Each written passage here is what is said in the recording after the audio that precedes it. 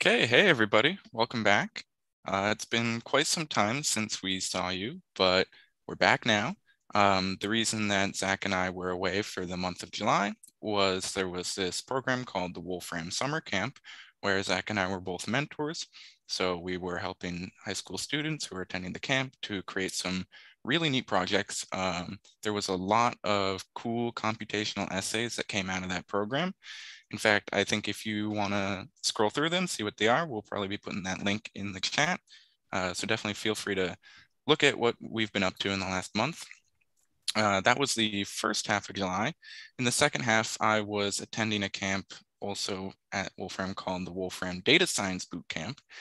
That was a camp where I learned a lot about data science. Um, we talked about the multi-paradigm aspect that Wolfram technology allows, which is that we can sort of do anything with data. Um, we're not constrained by what we're allowed to do to get to our answer. All we need is what's our question? What do we want to know? And we can figure it out using a multitude of, of methods, including machine learning uh, and other things. So we're going to be looking, we're, we're taking a bit of a break from Rosetta Code. We thought that was a great program and we had a lot of fun with it. And we've in fact kind of beat that horse a lot. Um, so we figured we'll try something new and we're going to be doing something related to data science. So hopefully I'll be able to share sort of what I've learned at that camp. Uh, and hopefully everyone can kind of learn something about data science today. Uh, this is sort of new. We'll just be taking some data and seeing what we can get live. So just bear with us. It, it'll go great. Um, Zach, did you want to say anything? Uh, no, I think you covered it. We had a great time at the summer camp. Um, really excited to get back into it. We're hopping into some stuff. We're going to explore some stuff from the data repository. So hopefully we can, you know, learn something really cool. And if you have any ideas what we can do with it, or you want to see us try something with it, just let us know. Yeah, if you at any time have any suggestions, definitely throw them in the chat and we'll we'll try to see what we can do. So without further ado, I'm going to share my screen here. And what we're going to start out with is looking at the Wolfram data repository. So this is sort of an open source location for a bunch of data. This is all out in the cloud and in the Wolfram cloud that is. And it's a repository where anyone can upload data, but a lot of it is curated by Wolfram or provided by Wolfram.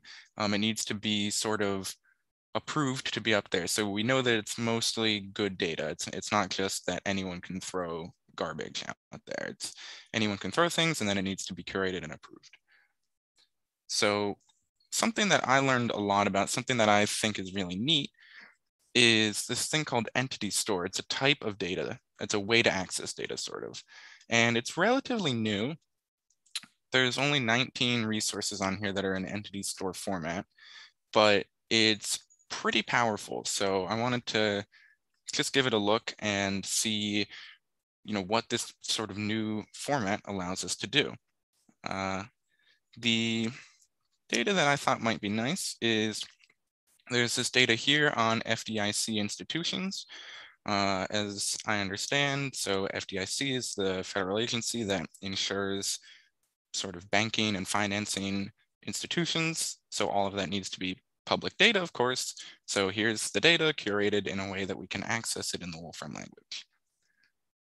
So the nice thing about it is, okay, we've got this resource object. It shows what we would get, and I can actually just copy that piece of code into a Wolfram notebook, start pulling that data from the cloud, and after it takes a little bit to find it, there we have it. There's that resource object. That's neat. That'll give us some, some descriptions about the data, where the data is located, uh, its size, what its type is, so for us to actually start using the data, we're going to have to register this entity store.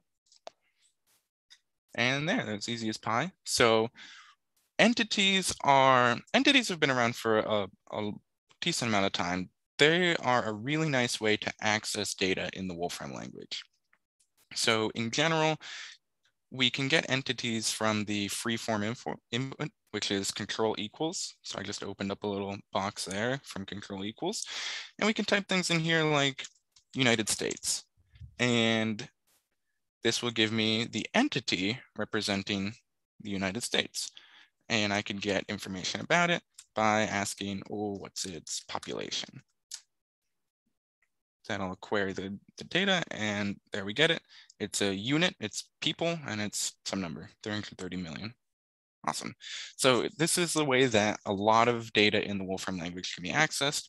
And now we have FDIC data in the same format as this country data or as there's there's plenty of entities. There's genetic data and food data.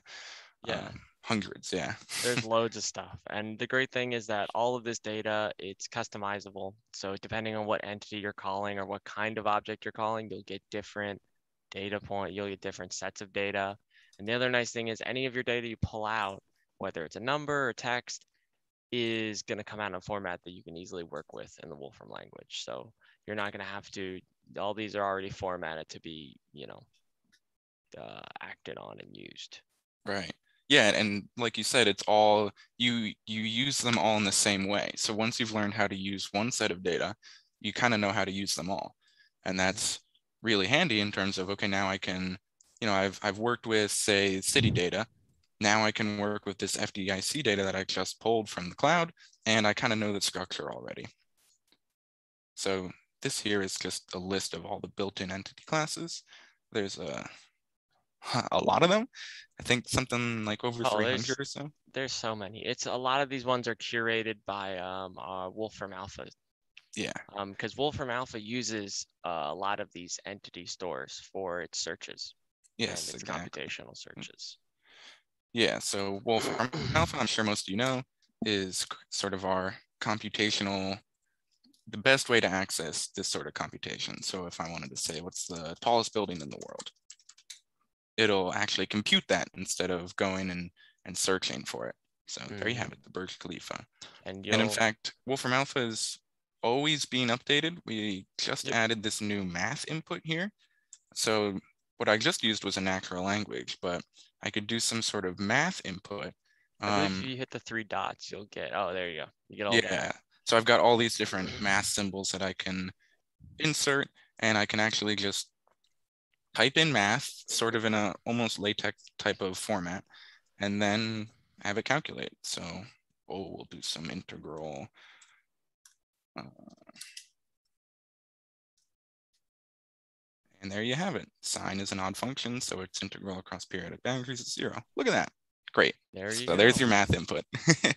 and the nice thing is if you do a Wolfram Alpha input or Wolfram Alpha call with the Wolfram language, say you just want to look for something, mm-hmm. uh, you can do that and it will most cases return an entity back if you're searching for an object. Oh, right. Mm-hmm. So I use it to find um, to find if we have like certain uh, geographic entities because there's so right. many different ones. So yeah, like we've got some mountain data. I don't know, Mount Olympus. That's a real mountain, right? not just from mythology. Apparently. Yeah. I mean, probably. Geography's not my strong suit, so I'm sorry. So we can do different sorts of things with it. This might not actually work. Oh, there it is. Mount Olympus is somewhere in there. I didn't actually put a, a marker it's, on it. It's but... probably at the center. Yeah. usually have these. They're usually put them in the middle. Right. Um, yeah but yeah, so you can you can do that, and you can use that to search a little more intelligently instead of trying to just kind of guess. Oh, is there maybe an entity around? Right. Yeah, it'll sort of figure it out for you. All right, so let's check out first just the structure of this entity store. Um, so the first thing I'm going to try is seeing, ooh, this needs to be a little string there. This is the name of the entity itself, sort of the class, just like gene is the name of the genetic entity class. Mm-hmm. So let's see how many entities there are. 5,679 FDIC insured companies in this data set. Neat. Uh, and we could do the same thing. We could find the property count. So each of those entities has a property and they each have 54. So there's 54 times 5,000 different possible properties that we could be gaining. So there's a there's a lot of data. A lot. Yeah. And Yeah. any entity can have any number of properties. So Mhm. it's you know every entity class has a different number of properties. Right. Like if I looked at the countries, how many properties there are, there's 751 because that that's a big data set. There's a lot of information we've curated about countries. Yeah, there's a lot of geographic polygon stuff. There's actually a whole entity set for historical countries too. So you can Oh, look at right. old countries' borders. Right. Yeah, that's really neat. Uh, okay, so we've got the 54 properties and well, what are they? What information can we learn about these entities? Uh, and what we could do is use the, so I, I always use entity properties and that'll just give you a list of the properties of some entity. Okay, there we have it in a list. Let's make that a data set just so we can see it a little bit nicer. Ah, cool. Um, and it looks like it's done some sort of weird formatting there. So I don't see them as actual entities.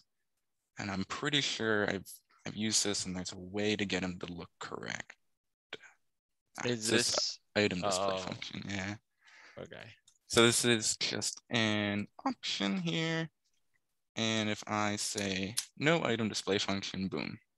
And then we can see them as actual, actual entity properties. So these are entity properties. They've got some short names, but when you hover over them, you see the more longer name. Uh, and this is all the data that we could get about one of these entities. Um, I'll kind of leave that as is for now because it doesn't make much sense to know the data you can get about something without knowing what that something is. And the way that I would usually start this is by just getting a random entity from this class.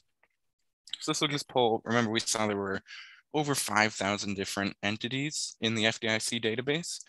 So this is just one of those, the First National Bank of Gillette.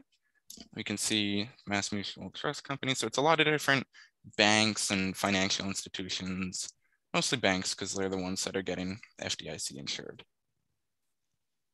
Cool. A lot of different banks. Okay, so let's start with one of these and we can view all of its properties in a data set format by asking for the data set. So this is how I like to visualize it. Up here you saw me use a data set. I think it's a great way to be able to scroll through and just see what's going on in your data. So on the left here, we've got the property for First Texas Bank, and on the right is its value. So its bank equity is $53 million. Common stock, 1 million. Cool.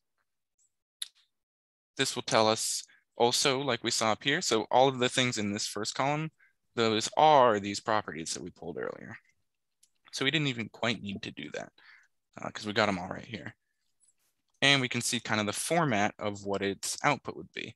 So this $1 million here, if I copy that data to my clipboard, I see that it's actually a quantity. It's actually the quantity 1 million. It's not just a string with a dollar sign. If I were to look at its input form, it's actually the quantity 1 million in US dollars, which means that we can do computations on that, like convert it to other currencies or any sort of thing. So that's really handy. So what we want to figure out is what we can do with this. Um, I always like to do geographic data stuff.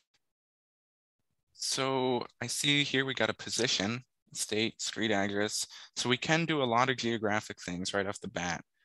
Um, if this position is robust, it looks like here it's giving us the coordinates. That would be pretty nice. Let's see. If I say, what's the position of First Texas Bank? It's actually a geoposition object. That's great because we can do oh, geographics of that. I should do that like that. And it's somewhere in there. Let's see. Um, I'd probably need to, that? I might need to do like a geo marker. let's see. Oops. Help if I spell a geomarker right. And if I go to the, ah, okay, cool. So I can just do geomarker that and it'll drop a pin right on the bank. There's your bank. Wow. Pretty cool. Very cool.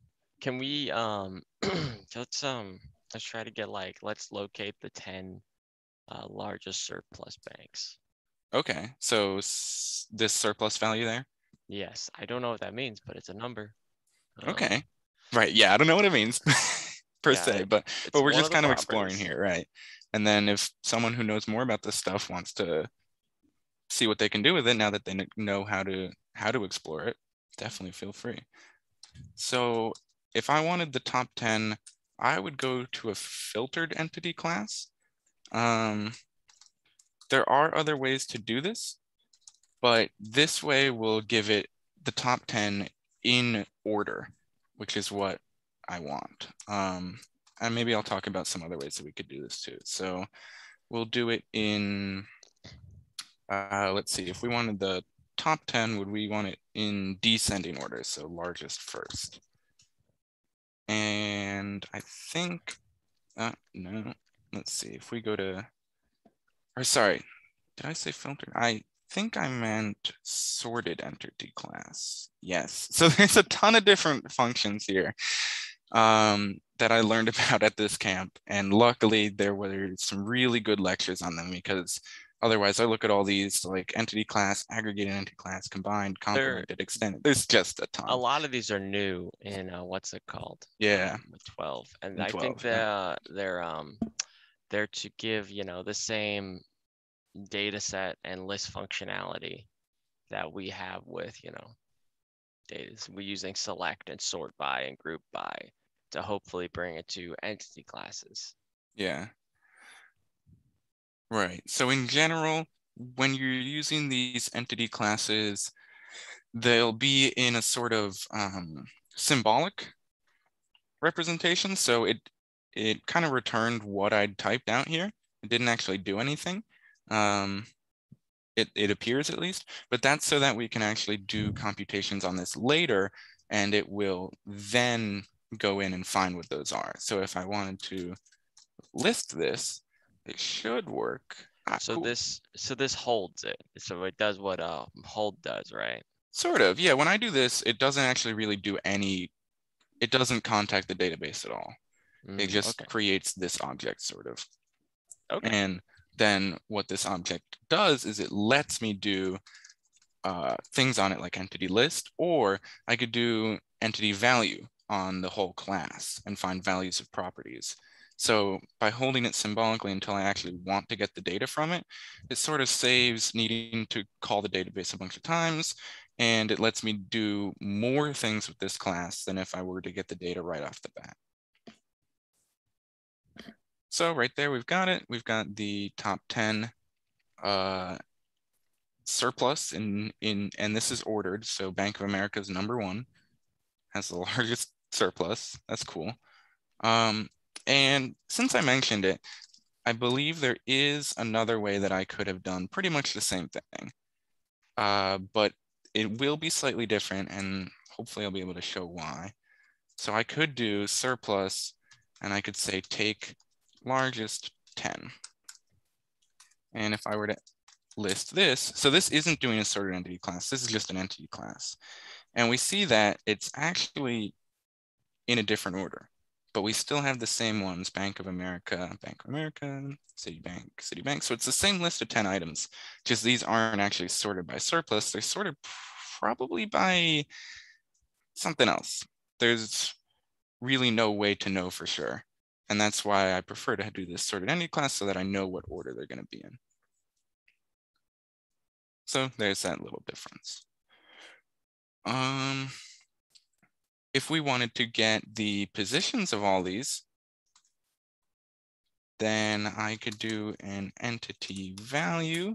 So now this is just that symbolic entity class, and I'm gonna get a value for every entity in that class. That's why it's really neat to have it remain symbolic until I actually wanna query it. So I could ask for the position for all of them. and we get some geo positions. If I wanted to, I could do in, uh, I think I need to do entity association. And this, ah, cool. So this actually structures it in a much nicer way. We've got an association of the bank pointing to its location. And we see that we don't have that data for Chase Bank, which is kind of surprising. But this is one of the big deals about doing sort of data science is dealing with data that's missing. Uh, and I think it's pretty nice in the Wolfram language that we have this missing function. So instead of this being like zero or giving us a failure or something like that, it can actually be this sort of symbolic missing piece of data. And what I could do is say I said this is a surplus, I'll just assign it to a value. And I wanted to find, say I wanted to find the missing pieces of that. So it actually returns this, the piece that's missing. Um, cool, and I could even then delete that. So we got rid of the missing one. Chase Bank is now gone. Uh, and so what this is doing is it's looking for that head missing right here. And so anything that's wrapped in missing gets deleted by delete cases. It's pretty, pretty nice way to handle it, I think. Um, but also in general, a lot of missing data will be handled sort of automatically if you don't do anything with it. It'll just kind of get pushed to the side by the program. And so you might not even have to worry about it really. It'll, it'll just kind of ignore it. And we might see that coming up in a bit, depending on what we do with this. Uh, so what I want to do, I think, is get the positions of all of these, every single bank. Um, and that's pretty easy as well. We can just do an entity value of, uh, I'm going to misspell institution so many times today. So I can just get the position and there we have it, a list of geo positions. Pretty neat. If I wanted to get that association like we saw before, uh, that's taken some more time, but there we got it. We've got the bank pointing to its position. Great, um, but what can we do with these? I'm actually gonna work with the smaller amount of data. Uh, so let's say that these are the positions. So we've got just kind of a list of positions here, right? So what if we did a geolist plot? That's what comes to mind, my mind first. Um, and what geolist plot is going to do is it's taking a list of positions and generating a map of them. So for regions, it's going to highlight them. For, let's see, um, yeah, so for actual little positions. It'll just kind of give you a dot. Let's see. Ah, okay. Oh, so we see that we've got banks literally all over the country, all the way up in Alaska, Hawaii. Cool. So um, two things. I see that the dots are really big, so it's just kind of a red blob. And maybe I don't want to look at the ones that are way far out. So this let's see. Geo list plot is going to take the same options as Geo graphics, which I know Geo range is the big one. Um, and I can just say Geo range is only the United States. Let's see if this works. Ooh, timed out there. Try typing in United States. Yeah. You were able to pull it up earlier, so. I was, yeah, I, I did this exact same thing earlier. So I think my my network might have just been uh, not happy because there is some network action going on behind that query. Um, it's working on it. It's thinking about it. Let's see. It's still, oh, yeah, I'll try United States, like you said. Might get something a little better. hopefully it's a little happier with that. Hopefully it's not a network issue. Well, Yeah. okay. It seems like it might be a network issue. Yeah, I think I'm having some network issues. Uh, let's see if I can. Hmm. Huh. Well, that's okay. Um, what I can do is go find the country data here and actually just recreate that uh recreate that country. So here it is, right from the documentation. I can just paste it there. But if I wanted to type it out, And this is worth, um, this is kind of the other thing. If we use an entity as a property in a function, it will usually, in most cases, uh, intelligently, or at least try to intelligently find the property that best fits what you're like using it for. mm, So if you give it like, you know, if you give it like geo range or you want a geo polygon and give it United States, it'll make the geo polygon of the United States. yeah, that's a good point. So maybe it'll work out. Oh, yeah, okay. So it actually worked outside. So it was a little confused by having it inside there. She may just didn't like the call. But we can always store that stuff too. So you can you can store entities, you know, as a variable. So Yes, exactly. Yeah. But also, if you ever needed to type it out, it's actually somewhat simple to type in. It's just entity type country, and it's the United States. So you could also do it kind of manually that way. But Mhm. personally, I can't really ever remember exactly what that is. sometimes uh, since it doesn't always um, what's it called execute, Mhm. um, it's you won't ever know for sure if you're using an entity that is recognized Exactly. as an entity or not, or you're just using like an entity head. Right. Like if I were to, I don't know, get rid of the A in there, it still looks like the same.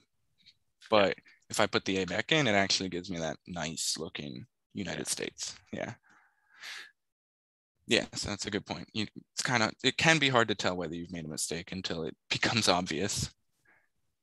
Okay, so here we have every bank with a dot on it. I kind of cute it a little and just made the dots little periods. Um, that's a way to get a small point.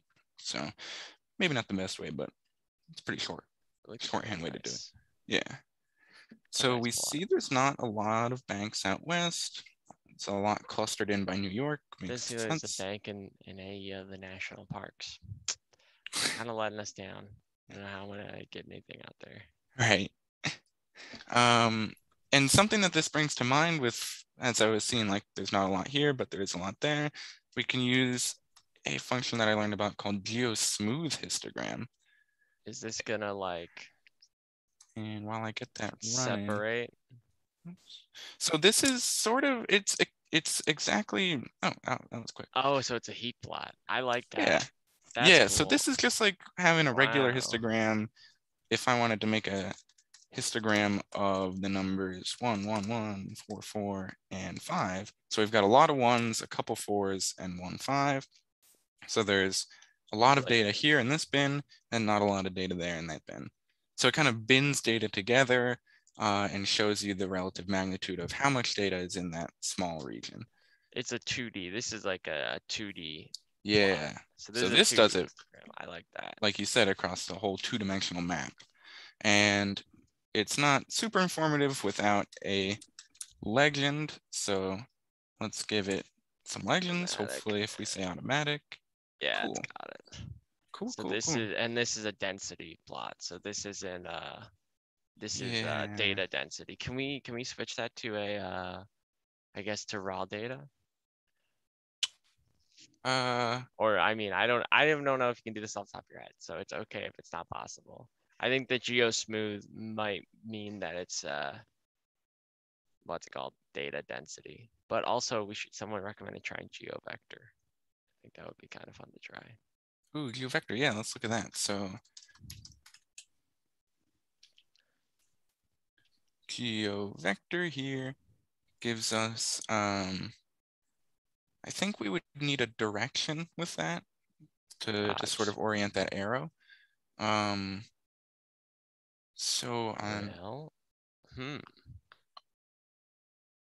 not sure what we could do. You, we could tie. Could we tie the direction of the G, the vector to how much money it has, or how much? uh, Maybe, maybe. as a thought. I don't. I don't know if that's gonna be easily done, but it, it might be fun to see. Something along that thought that I was thinking we could do is we could take, so right now this is just the locations of banks. And we see that we have most banks actually out here in kind of Illinois, which is a little surprising to me, but I don't know that much about banks. So, Um, do a lot of banking out there. Right. But I think it, maybe it might make more sense if we weighted each bank by, say, its net assets, right? So that if a bank has a lot of money, then it's more important for this map. And if it has a little amount of money, then it's kind of less important. Uh, and so the way that I would do that is this nice thing that I also learned about within the last couple weeks called weighted data. So we can weight data by some amount of weights. Um, and what we can do is we can actually weight positions by net assets or total assets, something, some sort of assets, the amount of money they have.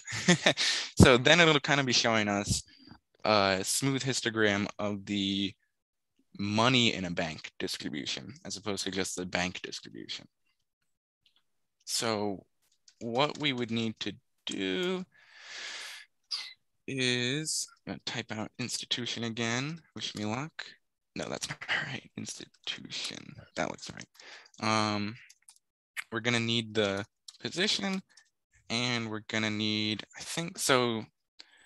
When I look at this data, there's actually only one example of using it here. Um, which is kind of why we picked it. There's not a lot of examples of using it, so we figured kind of why not flesh it out, add some Right. more spice to it. Um, Michael Gilson says that we're planning a heist, and we are looking for the banks with the most amount of money stored, uh, the most True. surplus available. So you know, Or at least the pay yeah. no attention to this. Pay no attention to it. I guess you could use this to determine where a bank heist might be more likely. Yeah, because Where we want to go. this is kind of telling you where you're more likely to like stumble into a bank, right? But so out out west, coin. you're less likely to just you know find a bank if you're walking around. But if we weight it by the amount of money in the bank, then we're I talking more about. possible.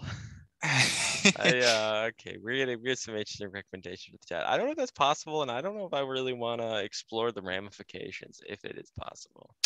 yeah, I don't we'll know keep about. going though. We'll, we'll keep, we'll keep trying to make our uh, our stuff. Yeah. So the one uh, example that's provided here in the sort of documentation for the data is plotting number of employees versus number of assets. You see that there's a relatively linear relationship. I think that's actually pretty neat to see.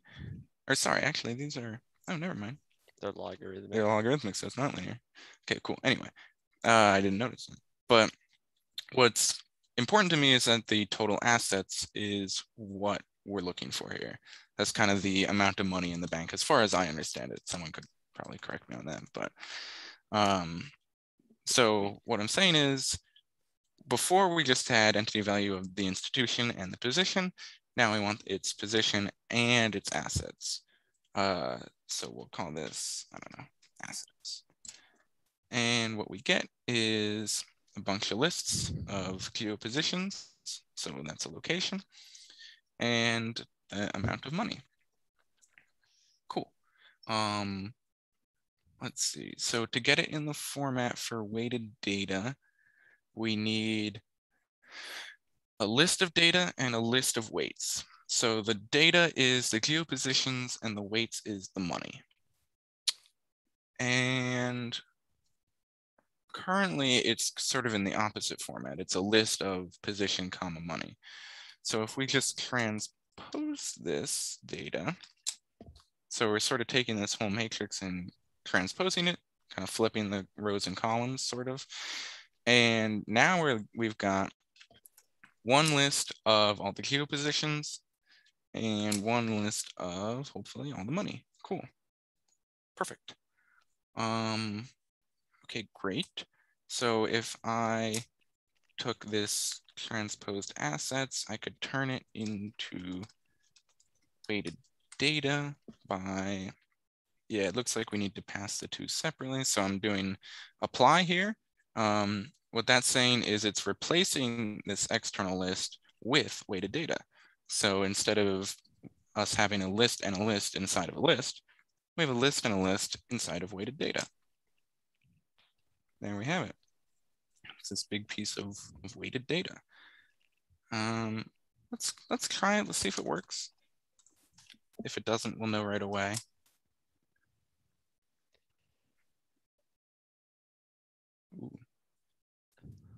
Okay, great. So I just need to, I'm gonna add a legend again and move my geo range to be just the continental United States. And this should give us a bit of a different picture. Yeah, okay, pretty neat, wow. So we saw up here, this is just where the banks are.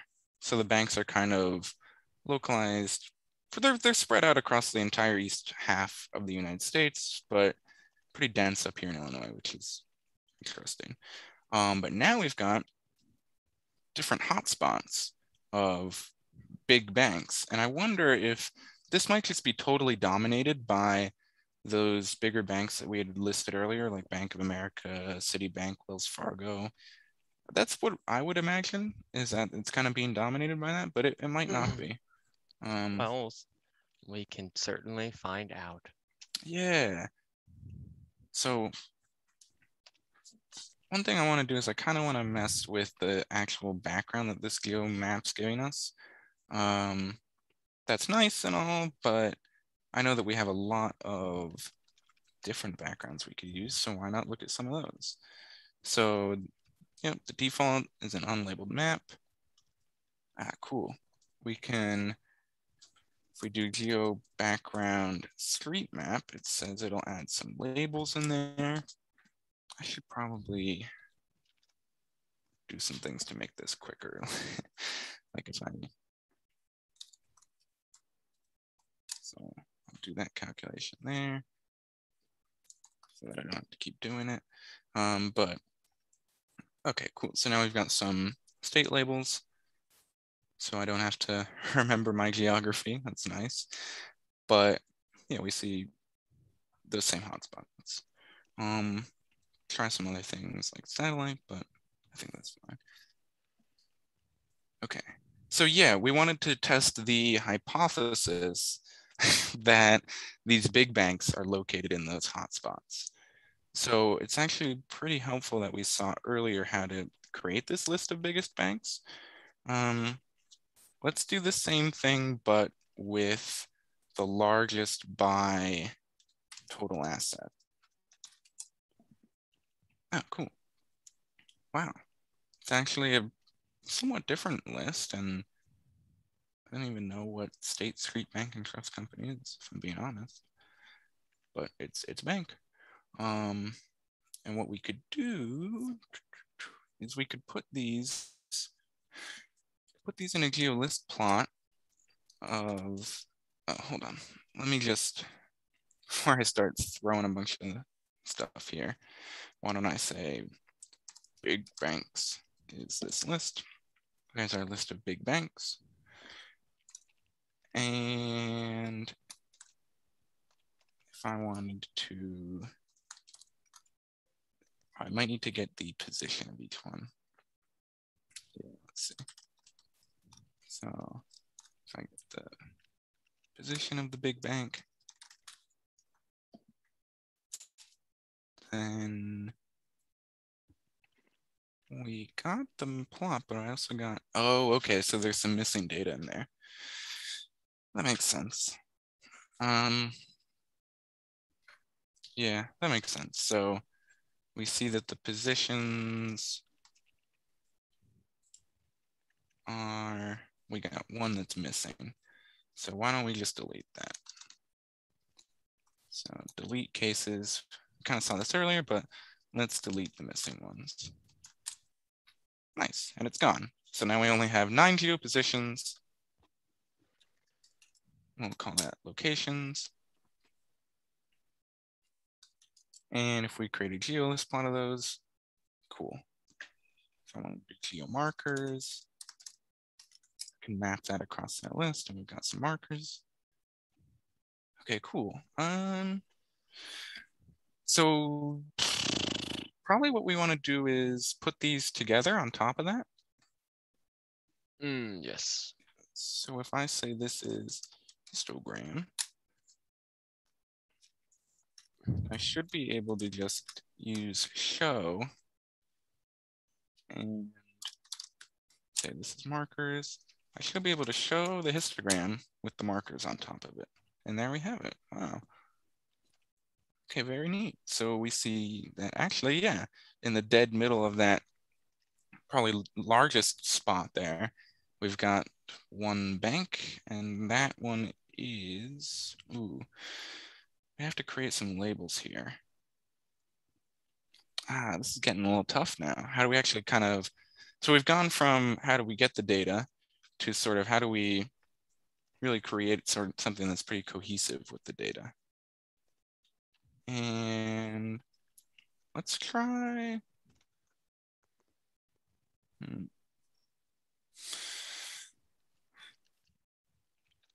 What if we got these into an association? This should still probably work the same. No, okay. Um, what did I do there? Wow, I don't even want to look at that. we'll ignore that for now. Boy, oh boy. Um, but I'm gonna look at GeoMarker. I imagine that this would have some sort of name that we can give it. Let's see. Oh, maybe not. Uh, maybe I'm looking for something else. Do you know if there's like a geo label or something that I'm looking for, Zach? Oh, I'm trying to think right now. Uh, you probably geomarker is probably what you want, but I mean, oh, here you go. You can geo label them. Just geo labels true and see what it puts on there. It'll Mm, probably, it's probably gonna print out the entire name of it, but it's fine. If I do this, does that work? No. What are, yeah, I would do geo label, geo, geo labels true. see what it gives us. Oh, I'm still getting a what is it doing? big, big error. Um, Okay. it's not. Um, yeah, that's fair. That's fair. You, you just map a coordinate transition and just be like print text using uh Epilog. I can do it without the labels if I just take what we had before, which was just the geopositions. So that's just the values of this association. Um, Mhm. but then I lose sort of that ability to label them, which I was hoping I would retain. Let's see. Maybe if I go, I'm gonna go into GeoList plot, which is what I'm using. See if there's an option to add markers. Plot markers. Is that what I'm looking for? Um, sort of. I guess. But that's not Maybe. labeled. Let's see. Ugh, these geo labels are nice. What if, what if I do this? This won't work, right? Yeah. oh, but it's kind of close actually. I don't know why we're getting map name short and missing. Um,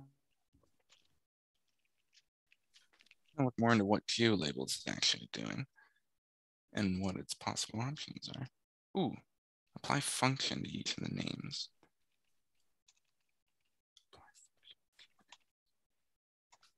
Um, what if that function is just itself?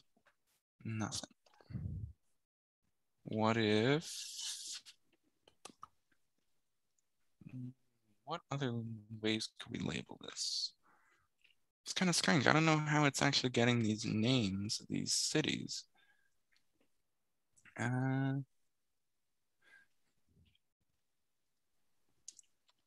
Oh, okay, so in the C also, it's reminded me of something like a tooltip where you can hover over data and get what it is.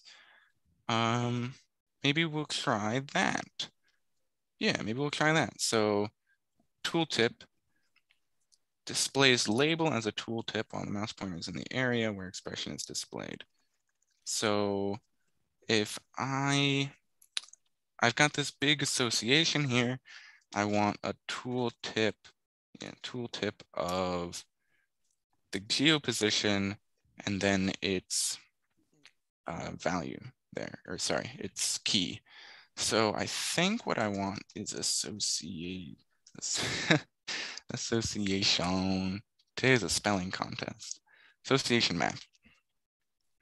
Ah, Very ah, nice. Cool. So now we have an association.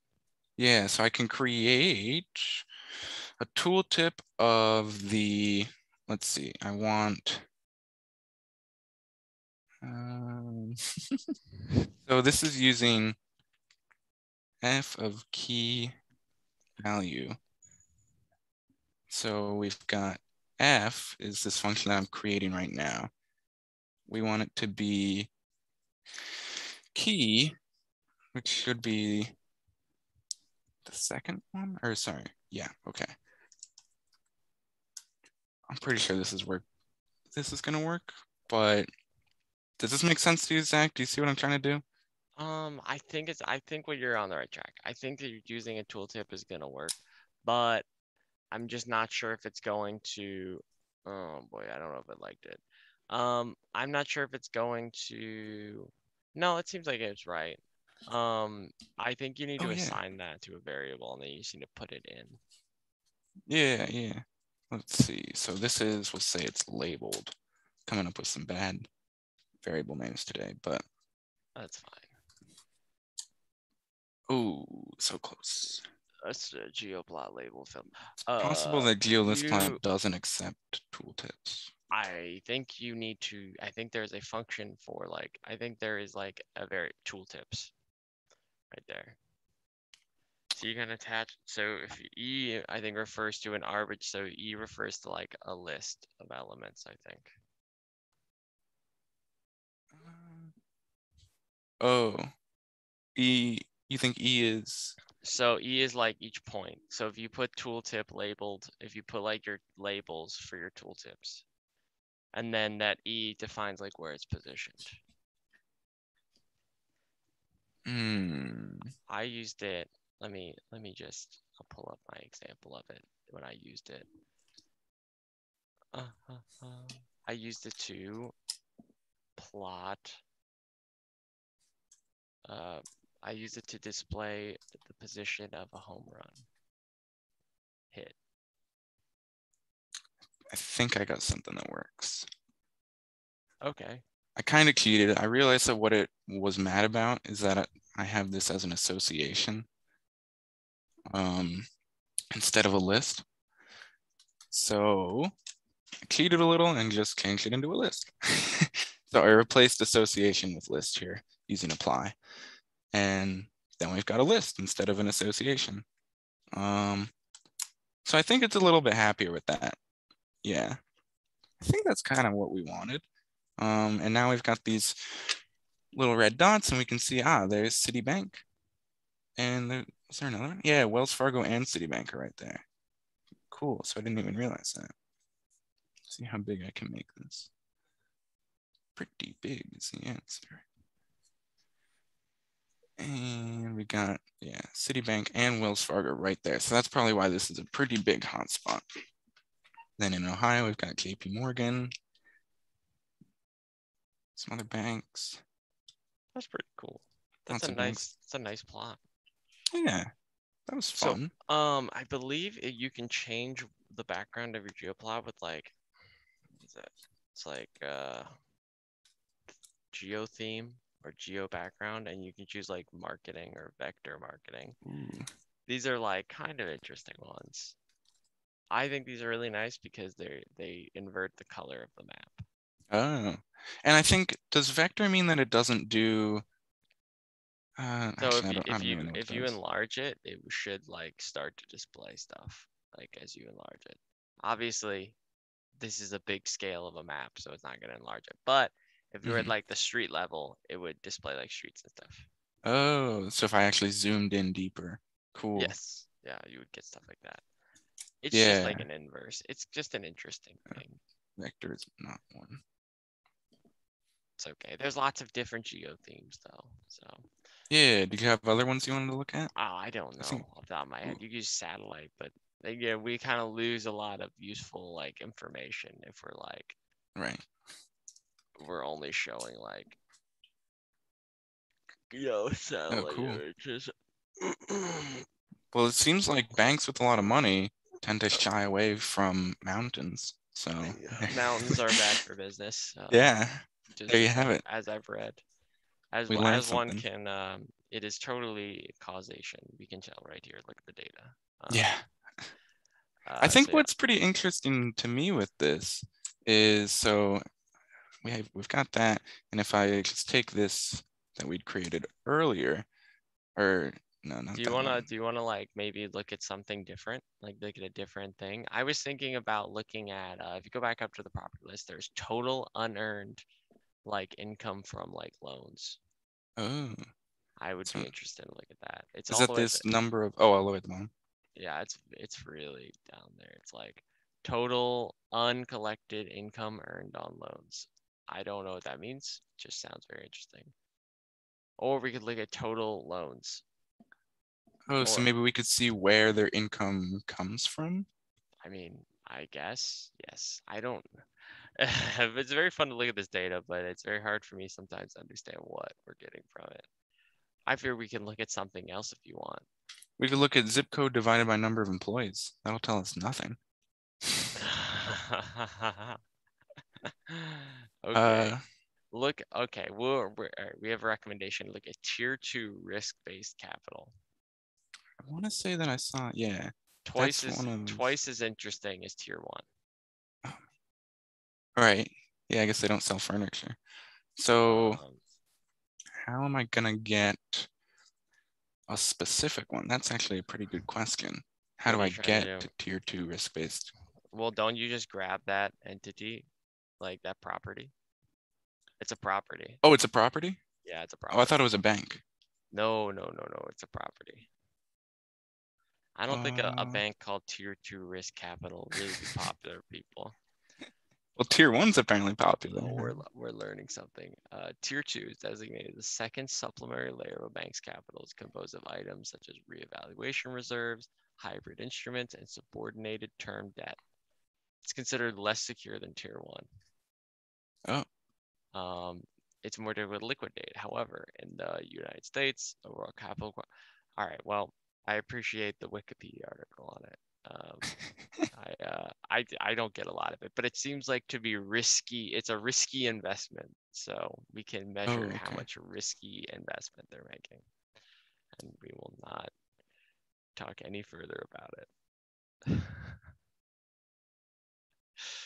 Can see in how much of their deposits are insured.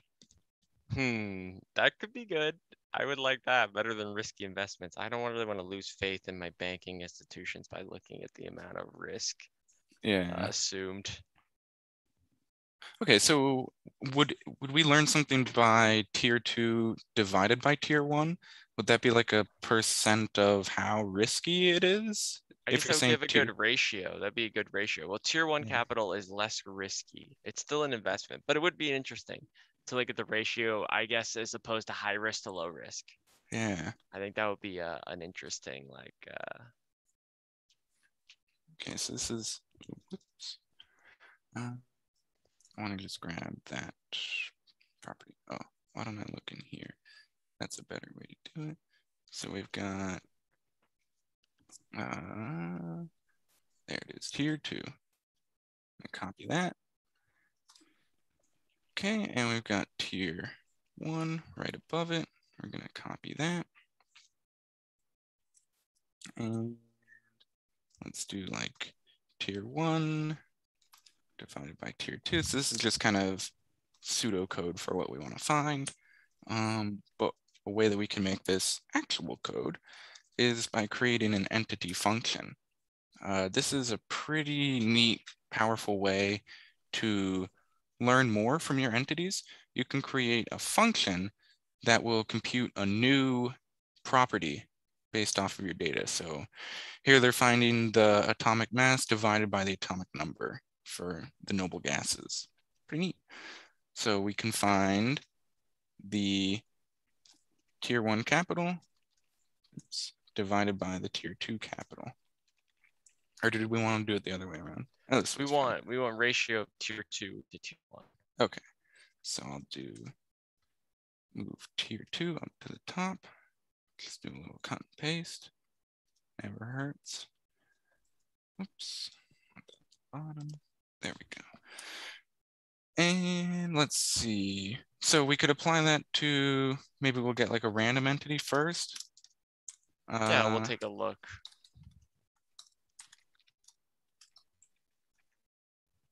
Just give me, one of those. So Mountain Pacific Bank. Um, applying this function to it, we see that it's got, uh, you know, a number.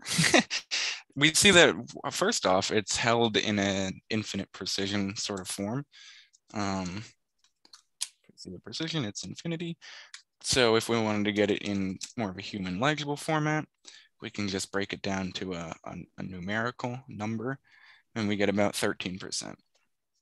Or we could probably do, I think we could turn this even into like percent form. Cool, 13%. Nice. Um, wow, that's pretty neat. There you have it. Uh, I could even bring this percent form inside of the entity function. All the risk is in Illinois. Interesting. Could we look at the, could we look at like, you know, maybe the top 10 best? Yeah. So, or worst. So we want to find Uh, we want to find the ones where this value is. I'm not sure we can do that. Um, yeah, go ahead. Highest. We want to find out where it's highest. Yes. And lose confidence. I don't know if this will work actually. Oh. Huh. I think it did. All right. Oh, there you have it. Bank um, of East Asia, LTD, Bank of India, Bank of China, Metropolitan Bank, Trusting Company. All right, well, I guess that's good. Yeah. Cool. Yeah, why don't we why don't we create so before we had this histogram where location was weighted by amount of money. Let's do what we did for that, but weight it by this new percentage that we just found. Should be able to repurpose that pretty quickly, hopefully. Let's see. So what did we do? we took, where did I even get the assets? Oh, I don't even remember. Okay, I'll recreate it. so let's get the entity value of this. We want to get the position and this new thing, this new function. Um, and we'll say that this is just our, our data kind of. Then we're gonna weight that and apply it to the transpose. This is what we did earlier. I hope I'm not messing up here. And if we just do a GeoSmoothHistogram of that, kind of going quick here, it didn't work. So well, if it doesn't work, it shows your location. That's our company headquarters in Champaign, Illinois. Uh, what did I do wrong? What did I do wrong, Zach? Maybe this PercentForm's actually messing it up. I'm gonna get rid of that. Because we don't, we just want a raw number. We don't care about the how it's displayed.